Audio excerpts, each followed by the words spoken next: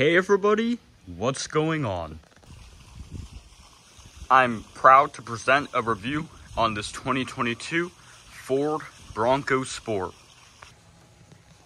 And without further ado, let's go ahead and start it up and let it run. This particular Bronco Sport is finished off in a color known as Oxford White. It's one of the most common Ford colors. And you have an older Ford flip key. With, you have lock, unlock, and panic. Push it twice, you have the lock horn. And the alarm. One thing I don't like is you can't push unlock to stop it. You have to, you have to push the panic button and like in a normal car you, you, have to hold it but say if you leave the keys in your pocket and you accidentally push it you're to get all the attention which is kind of a pain in the ass especially like on like the Prius which you have to hold it for a few seconds then it would just go off but this you have to like if you push it once you're screwed which is really is something that Ford should definitely address. And also one more thing, like it, it's too short of the honks, like the alarm, it honks for too short. Like it barely sounds like longer than like a lock horn, which really is just annoying. This is a base model, so it has black door handles and no keyless entry system of any kind. So it's locked, you can't just go ahead. You have to unlock it. You can also use it manually if you so desire to open it up.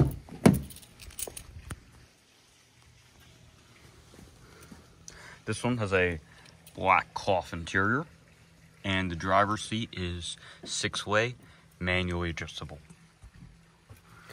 To start the Bronco Sport, you flip the key up, push this button, and insert the key into ignition.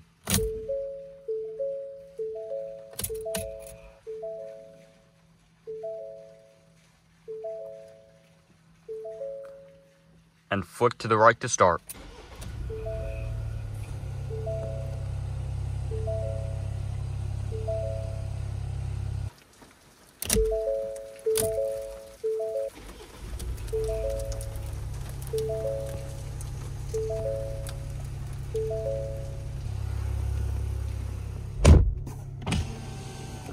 Driver's side window is fully automatic. It's running, so it's not going to be up too high. This has a 11,561.7 miles and a 1.5 liter three cylinder engine. What about a turbo spool? And an eight speed automatic transmission. Have low gear as well. Put it back in park. And in reverse, you do get a backup camera with adjustable guidance lines.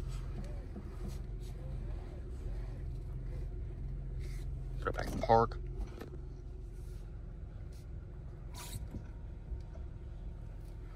And you have a free spoke, vinyl wrap steering wheel.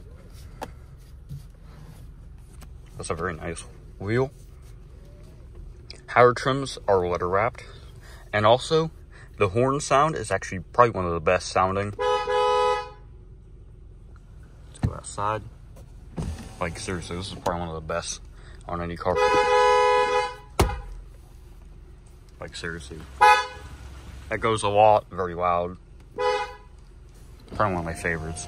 So I'm gonna Let's turn on the headlights, fog lights, and the hazards. Um, this doesn't have fog lights, but has the running lights. You have a very nice hazard sound. And I'm not sure how the fog lights go. Yeah, that's, yeah, never mind. It's just the high beams. Or what about slow? Not the best. Let's go ahead and do an exterior walk around. And when the door opens, car chime to let you know that it has been opened. Let's do a walk around of the exterior. Only thing I'm scared of is the control stack getting wet. So I don't know if I'm gonna leave this open. Make sure the doors are locked. Yeah, I'm gonna close it. Or at least mostly gonna keep it closed because I'm scared the everything is just gonna get wet.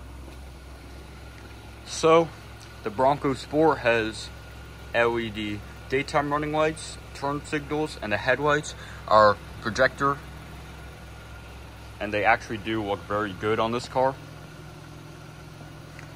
So for the Bronco, there's the big body on frame Bronco, which is the regular one, and then there's this, which is the Bronco Sport. This one is unibody, but it's still nearly as capable. You have Continental Pro Contact TX tires.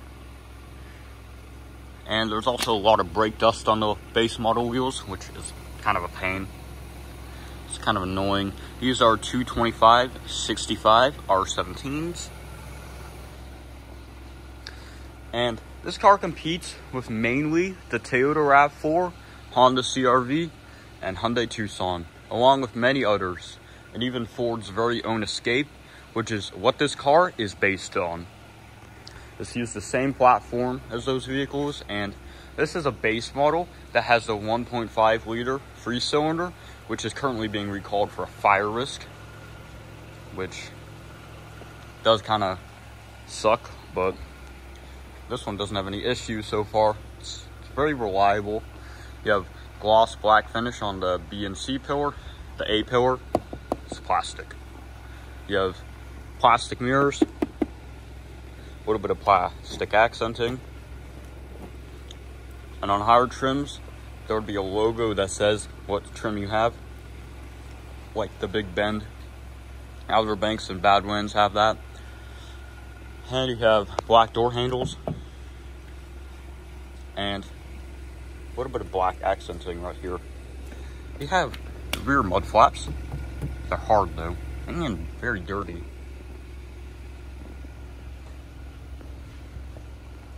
You have halogen reverse lights, turn signals, and a little bit of LED accenting on the brake lights. You have a Ford Bronco Sport logo.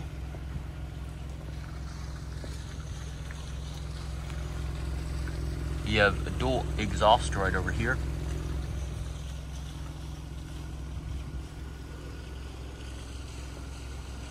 This car is very capable. Like, no issues so far whatsoever. And, but, I'm not sure, this kind of looks misaligned. I don't know, it's weird, but it really isn't. Maybe it's just the doors that's slightly open. It still looks a little misaligned.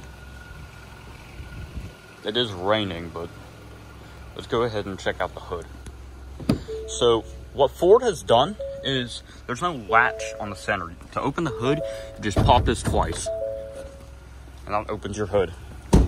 And you just pull it up and you have access to the 1.5 liter EcoBoost. This one doesn't stay up in any sort of way. It's a pretty good motor. It makes 181 horsepower. Torque would be in the and the text down below. Here's the battery. Just a normal engine.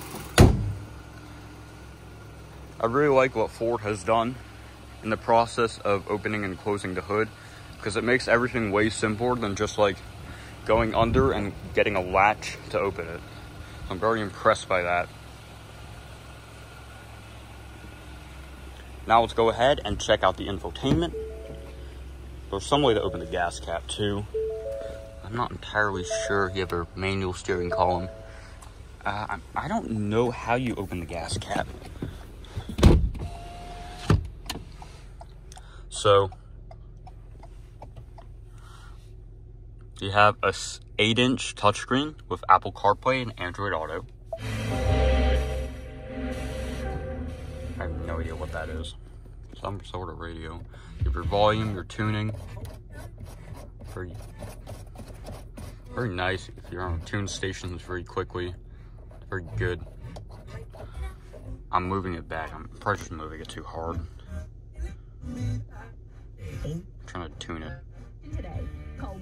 Of course, there's an ad.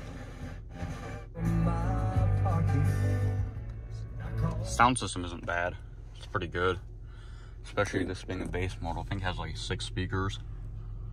Here's the visor. See if it passes. Nope, I think it fails the test. There's no expansion. But both the driver and passenger side gets mirrors. But they do not have any lights, which does suck.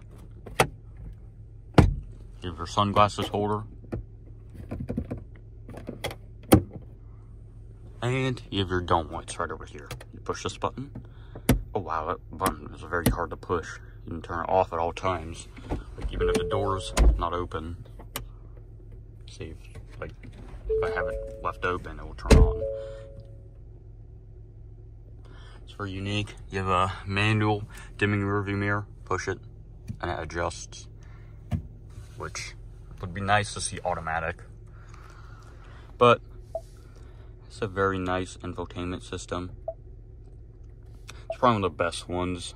Ford Sync, I've always loved it. It's just been a, such a good system. It's very fast, intuitive. You have tons of features. Even this one doesn't have navigation, but who uses it anymore? And change the clock. I think it's 237. You even have vehicle Wi-Fi. That's very cool. I think you can connect. I don't know if this is vehicle. Like, this is way better than the infotainment on like a RAV4, which is boring. It has a little to none features. You have auto start, and you also do have two cup holders, plus a mini one right here if you want to store something small. It's very spacious. I don't know what my sister's hiding over there. It's very dirty. Here's the parking brake, auto hold. Very nice. Push it up and down.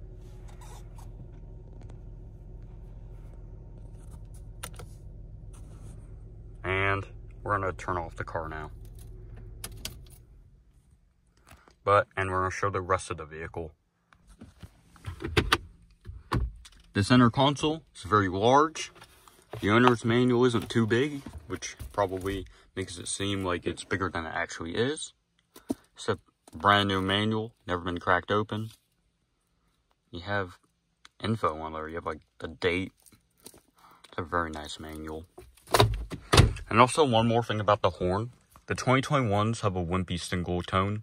This is a double tone. Like this is a very lovely sound. Even the signals sound great. So, let's go ahead and tour the rear.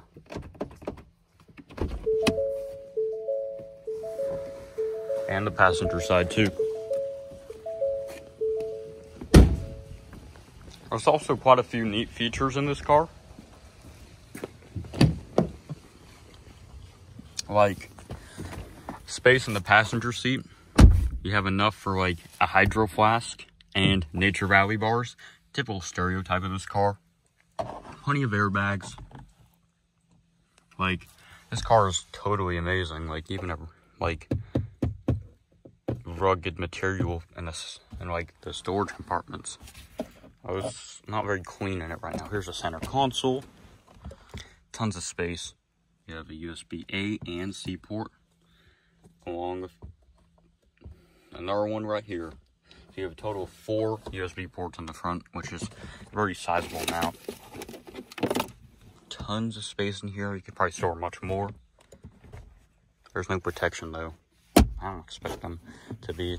The console is actually like leather wrapped, so it's very nice.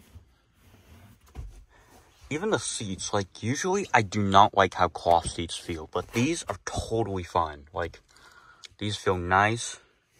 Usually I do not like cloth at all, but these are actually very good. Like I'm totally comfortable, like even more so than sitting in a car with like a leather seat. That's another huge advantage.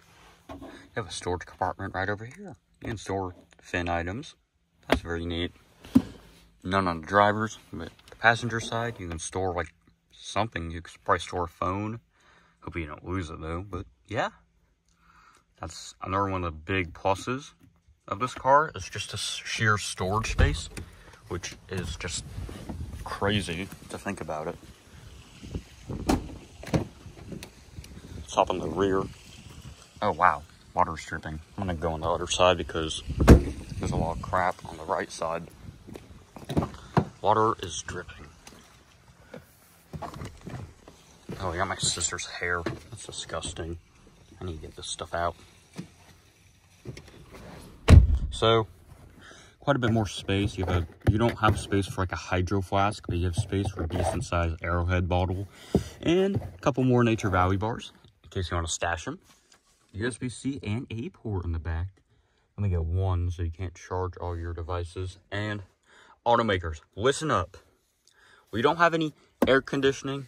That's exactly what we want because it's so annoying. Like these automakers, they always cheap out on like not adding air vents in the rear, even though it costs such a little amount of money to add.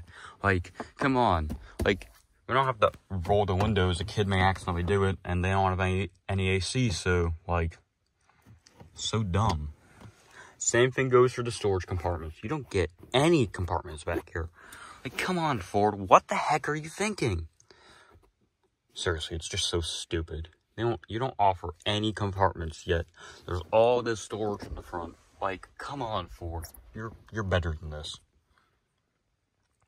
Like, not any side. Nor, you don't get any center console either, so you don't have a, a lot of space for storage in the second row because even if you were to put something in the floorboard, like stuff this size, you wouldn't have enough space for any leg room, which means that that rear passengers can't sit there without having to have their legs up, which is tremendously uncomfortable, and I don't want to do it. But I'm like five foot eight, and you see, I have a ton of leg room. Standing up, if I stand up straight, someone, I have like six inches on top of me, which means someone at like six three, six four can probably sit in the back of here comfortably. Let's go ahead and show you the trunk. So there are a couple cool neat features in the trunk. Like, for example, you can open the glass, which, for example, the Chevy Suburban has had this for like years, so you don't want to list something that's absolutely massive.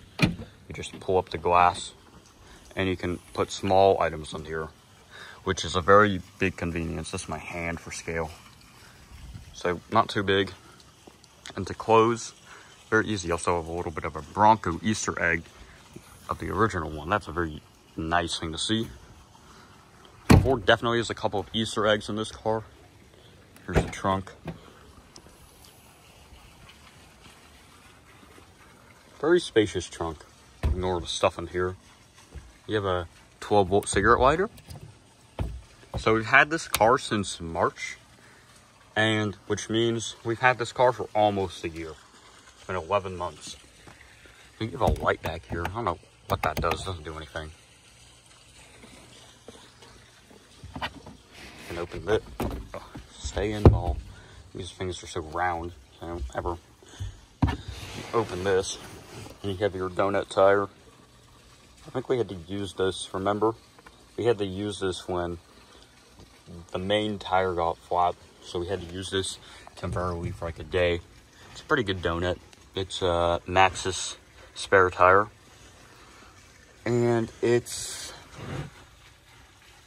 uh 155 70 D17.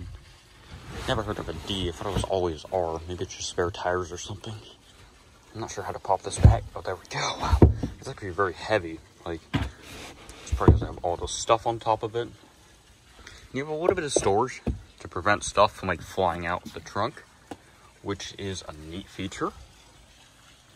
You have your coat hang. You have coat hangers right here. You just push this down. You have access. You have four of them. Now tell me that isn't cool. Like, come on. And the seats are 60-40, fold, split. And this is a 60, you just push this button and they fold. Can't fold them because of all the crap that's right there. So they fold down. And, oh wow, it's stuck because of the seat belt. That latch is just in the place. Oh, come on, seatbelt. Stop. There we go. These are very light seats. They're very easy to fold and not having any issues with them whatsoever. Probably one of the lightest seats I've felt. And you have one more added bonus. You see this right here? That is actually a bottle opener where you can open like say like a Mexican Coke. You just pop that and there you go. You can open it without having to bring your bottle opener. Saves you a little bit of time in case you ever lose it, but now you don't have to in the Bronco Sport. So, comparing this car to like the Honda CRV and the Toyota RAV4, this car is pretty much as good as them and it can probably even beat them. Like, this car has many neat features and cool quirks that a RAV4 could only wish to have. Like, a bottle opener? Come on. Does your RAV4 have that? I didn't think so. So, whilst this car may not have a four-cylinder, it's still better than them in any way. Like, for example, the Honda CRV has a CVT, whereas this has none of that. It just has a regular 8-speed automatic. Whilst this car does cost a few grand more to start with than a RAV4, it's totally worth it. Whereas, if you buy something like a Toyota, for example, you get that reliability with the brand you've always known. But Ford, they've been in the they've been in the market for years and years, like hundred years, and they know how to make a good car. And this is certainly one of them. Like the Big Bend has white lettering on a higher trim. Like, come on. You just open the glass. That's like a feature that a Suburban has. It's really pouring, saying, "Hey, come on, close." It's not closing for some reason. Use this. Come on, close. Close. You have to pull it hard though. But still very nice to see. It's pouring very, very hard right now. And this car really looks good with a mix of rain and dirt on it right now. Like, just peeling a little bit. But this is a very good value for 30 grand. And back like in 2019 with the Escape, it, you didn't get crap in that car, like for the base model. Like you didn't get no touchscreen. And it's still even the same today for the Escape. Like it's like multiple grand less, and you don't get a huge touchscreen like you do on the Bronco Sport. You don't get that cool nameplate. No, no, none of that. Like, well, it's still got the classic Ford quality, which actually is pretty good. Like, I have my hand on it and no jerking. What? Not very much rattling on the center console. No creaking. It does move a little bit. There's a little bit of rattling right over here. On the gauges. Screen does too. But that's probably very good quality. Like actually, like quality is probably one of the best in its class. Same thing. You get a weak ass meep when you honk a Prius. But in this thing, none of that. Like, everything about this car is just better than a Toyota. Like, you get more features, more value for money. Like, and also, you get that sweet American Ford chime. And the sweet Ford turn signal. Which actually, it doesn't play when you have the door open like it doesn't make any sound, but only makes a chime because that's more important than having your blinkers on for roadside assistance. You have to hear this chime, but the indicators tell you enough. Very weird thing that Ford does, but auto hold, auto parking brake, all these features for 30 grand, which is a huge bonus. Like, trust me, like a Hyundai Tucson well, that car is actually very nice. Like the Kia Sportage and the Hyundai Tucson, both those vehicles are probably like some of the best for the money. You get the most tech, like especially in the S trim on the Kias.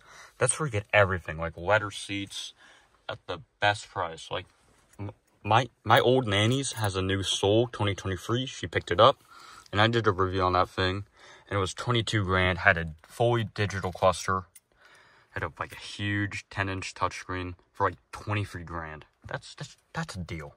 But this car may not have a 10 inch, inch touchscreen, but it's certainly close in terms of, of value for money. I still think the Soul is probably one of the best values in the car market right now. But this is easily in my top 10. Like, also, this may not have a four-cylinder. It's still an amazing car for the money.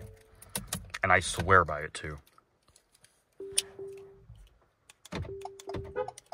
Everything about it is just amazing. Like, for 23 grand, I mean 28 grand, you're getting everything you need, plus a few more tidbits. And thank you guys for watching my review on the 2022 Ford Bronco Sport. If there's anything else you wanted me to note of, please consider subscribing. Goodbye. And also one more thing, you have roof bars too. I don't think your RAV4 has that. Maybe it does. I don't know. But anyways, thanks for watching.